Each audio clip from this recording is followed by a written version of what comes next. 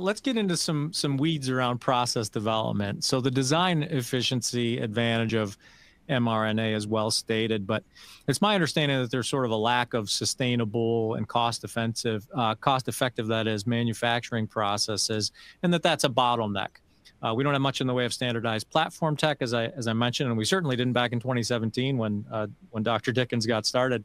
Um, is that understanding accurate? And uh, and if so, what's been your approach around building uh, out uh, process development for mRNA? And I'll, I'll start with you, Dr. Dickens.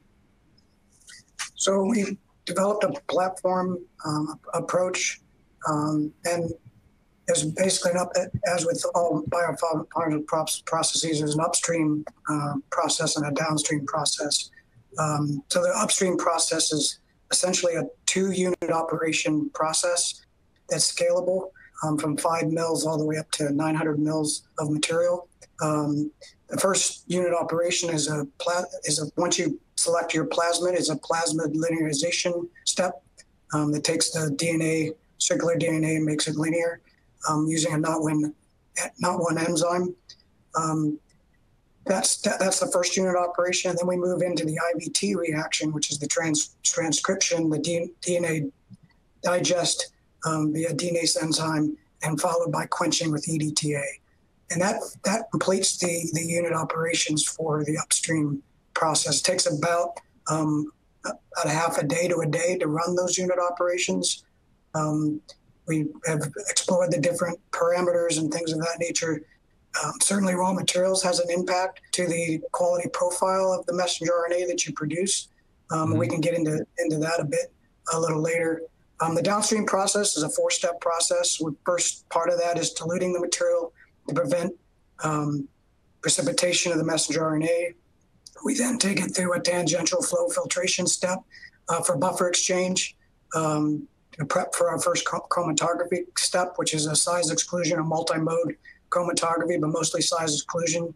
That mostly removes most of the double-stranded DNA that we you had or RNA that you had mentioned earlier, um, and that's a flow-through uh, uh, using a Captacor 400 uh, chromatography step.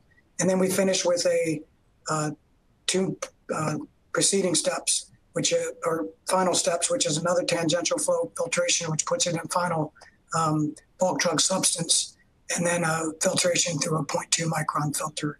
Um, and that, that process is both flexible in that we can change the reading frame um, around 1,000 to 3,000 base pairs of that reading frame um, and still get effective quality um, profile and, and uh, translation in, uh, in vivo. Um, and then it also gives us the scalability that I mentioned as well. Mm-hmm. Um, so uh, that's that's been usually benefit, and we've demonstrated that through a, a number of uh, immunogens um, across a lot of different disease, several di- disease states. That demonstrates its flexibility as well as scalability from process development all the way all the way into uh, phase one clinical trials. Excellent, Roberta. What's the process development strategy looked like uh, for mRNA candidates at Seqirus? Yeah, so we are in preclinical stage. So we are still developing those processes for ourselves. Um, a mm-hmm. lot of what Dr. Dickens has described is inherent in the approaches that we're going to be taking and are taking. And so as we go from preclinical and scaling up into uh, first in human and clinical trial materials, we'll be taking a lot of those learnings into consideration. And our scientists and technical development are, and research are hyper focused in that area right now. Yeah, excellent.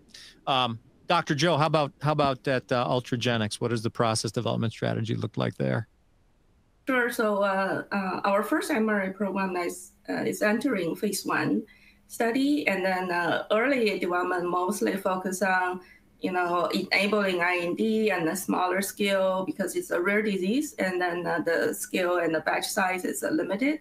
And mm-hmm. then first gen process, we start with some first gen process that's an existing technology that leveraging CMO uh, technology, uh, especially in IVT, it's a small scale in bottles, and then uh, and then followed by purification process. Most of them like uh, uh, non-scalable, so maybe up to uh, 10 gram per batch. That's it. And so for late stage development, um, basically because it's a, a we are um, so for the first MRA, it's a, a chronic dosing, and then we're facing like a, a much higher demand um, per year. So for that, we actually developed second gen process. And the second gen process is basically a same uh, flow, basically.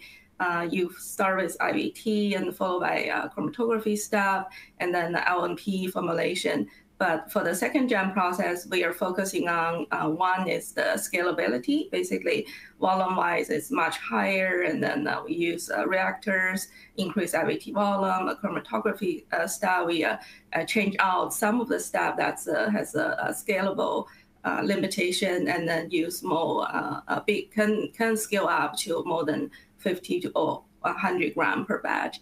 And then uh, also LNP wise, uh, we uh, leverage newer technology, and then that make the LNP sizes more uh, uniform. And then uh, right now we are uh, in the process of implementing this late stage process, and all of this late stage process is inter, inter, internally developed. And then so we're looking forward to implement this in the phase two and three studies.